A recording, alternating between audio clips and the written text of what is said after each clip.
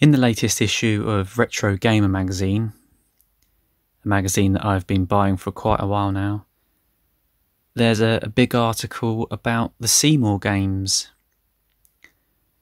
And that's actually made me decide to do a video of one or two Seymour games.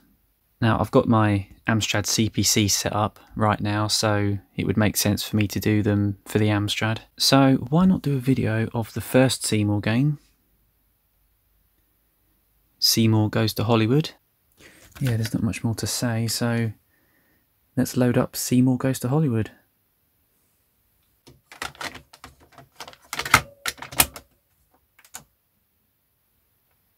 First of all, I tried to load from one side of the cassette, but I got nothing but read errors. But thankfully the other side worked.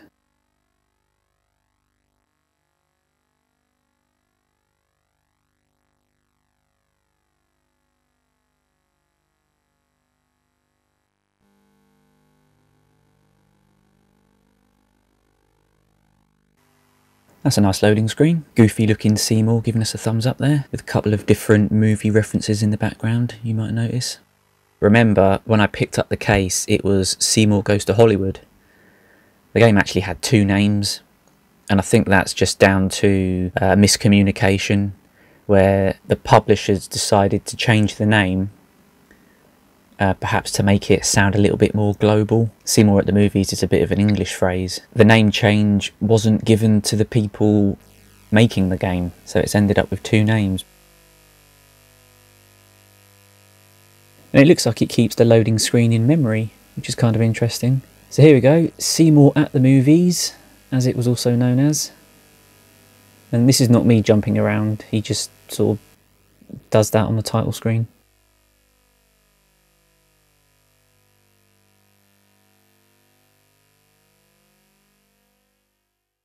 So this is Seymour's first day filming his first movie. And he's even got his own limo. The music in this game is really quite loud. So I had to turn it down quite a lot just so it doesn't make my narration sound too quiet.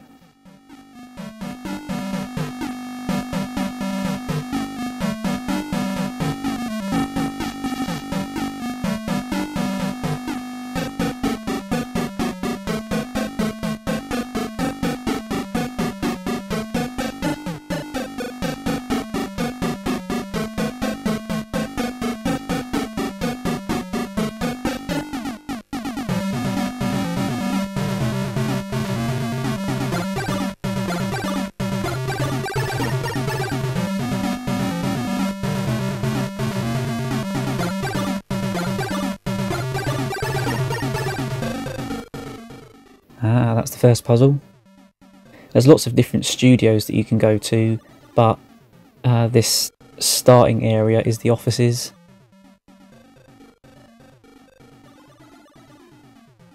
It's an interesting choice of colours. It's a nice little thing that they've done here where they use Amstrad's Mode 1. There's no limitations on where you can put those colours, but you can only choose four colours. But what they do is that they change those colours from screen to screen and they also kind of split it so that panel at the top there uses four colours and then the palette changes.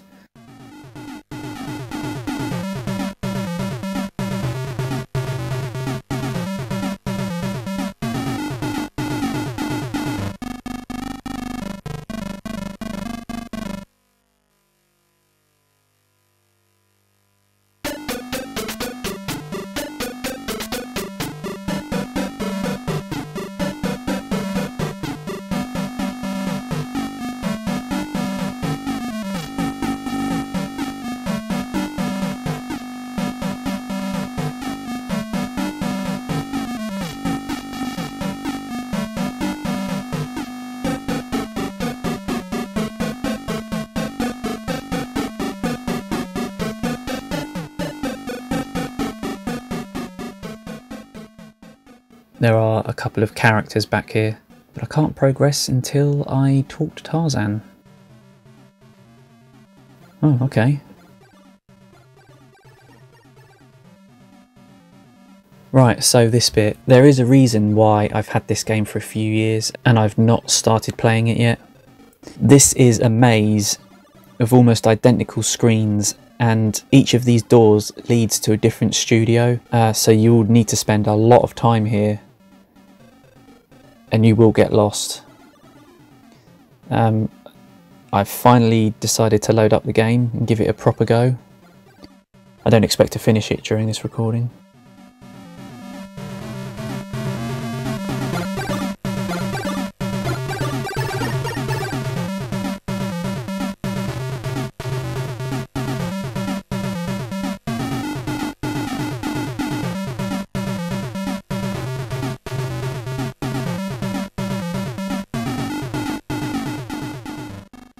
Good to try a game for the first time. Now, it should be said that they do actually warn you, sort of, because if you look in the inlay, the, the cassette inlay, first of all, one of the selling points is that it has a giant map. Um, but also, the tips that they give you is that you should draw your own map so you don't get lost. And of course, today on the internet, someone has bound to have made a map, which I can find, I'm sure.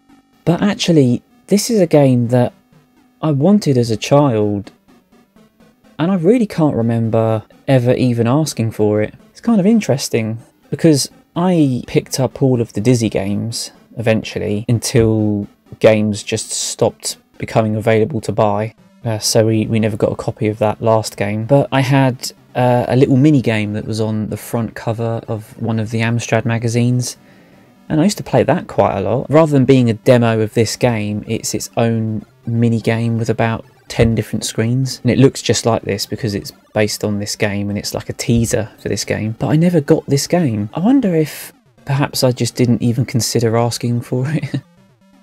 Because of course it's a budget game, so, you know, on, on payday my dad could have got out and just bought it. It's not something we would have had to wait for Christmas or my birthday to get. Well, I'm happy I have it now. And I've got quite a few Seymour games.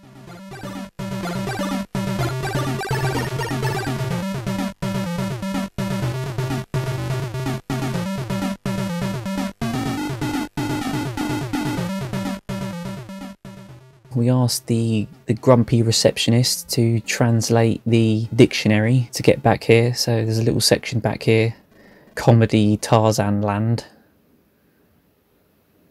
wherever Tarzan's supposed to be set. And this is just like a treehouse village from the Dizzy games, but the graphics have all been redrawn. I do end up playing this for quite a while. I think I've got about 45 minutes of footage. I'm obviously going to cut some of that out. I don't really make any massive progress and I think this is a really, really long game. I've read in an article that it's 96 screens, which makes it almost as big as Spellbound Dizzy. And uh, I, I know Spellbound Dizzy quite well because I played it a lot at the time and I absolutely loved it. So I think I would have really loved this game as well had I bought it. I just don't know why we never we never got a copy of it. Right, so I've looked through the offices now and I've collected quite a lot of items. Now here I thought my game was bugged, but it's actually that item that I've just picked up that makes him invisible. And come to think of it, these games, these games are really quite open. So I suppose people today might, I don't know, but they might compare them to Metroidvania games. You have areas that are blocked off at the start and then you unlock them later. It is a little bit like that in a way. That's a not a completely unfair comparison, I'd say. So I've mentioned this article in uh, Retro Gamer magazine, I thought I should get out the actual book and take a look at it rather than trying to quote it from memory. It says here in the article that the Maze of Studios was actually a kind of in joke. In adventure games, you might move from one location to the other, and the the screen is almost identical, uh, but there might be uh, a blade of grass that's different, and uh, that's the sort of thing that they were going for there. And uh, I've never played it before, but apparently the first Legend of Zelda game has an area like that. And something that I don't really like about this game is the music. Uh, it's kind of kind of typical 8-bit catchy bouncy sort of stuff but it is a bit grating and um, it's almost like they messed it up a little bit and it must loop about 20 times as I'm doing this playthrough.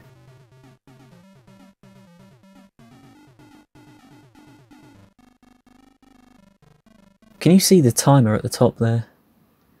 That little, uh, the, the blue panel at the top there. 25 minutes. So, the game keeps track of how long you've been playing the game. I've not really gotten anywhere yet, have I? So I've got a feeling this is a really, really long game.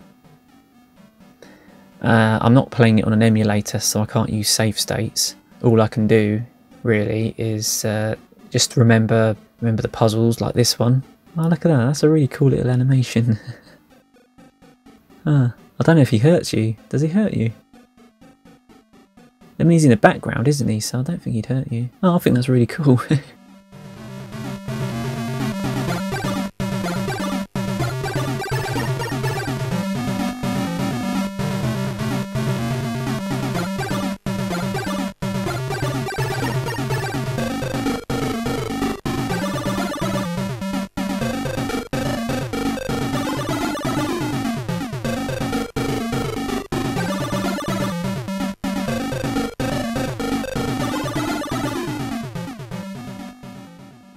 feel like I've been rambling far too much in this video. I'm not talking about the game enough.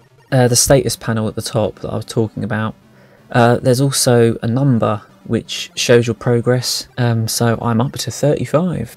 I don't know what it goes up to when you complete the game. You can drop your items in the air there.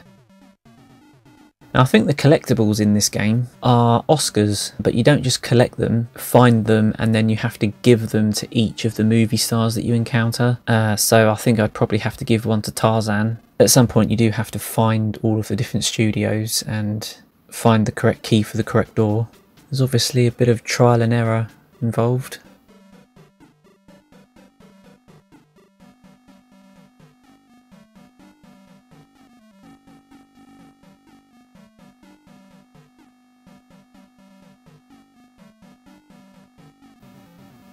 There isn't a huge amount in this game that can hurt you, it seems.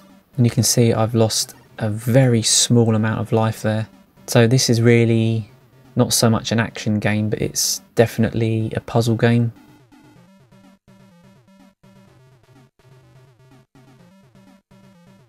I'm definitely going to go back to this game next time I set up my Amstrad. Uh, or I might even start playing it on the Amiga because I have a copy of this for the Amiga now.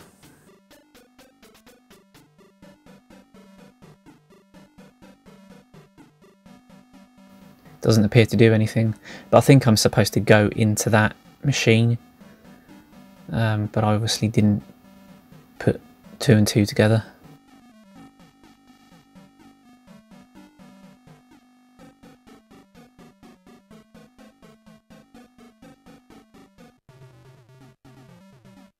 It's a shame I have to turn it off really because I've found all these items. I'm going to turn it off and lose all my progress now.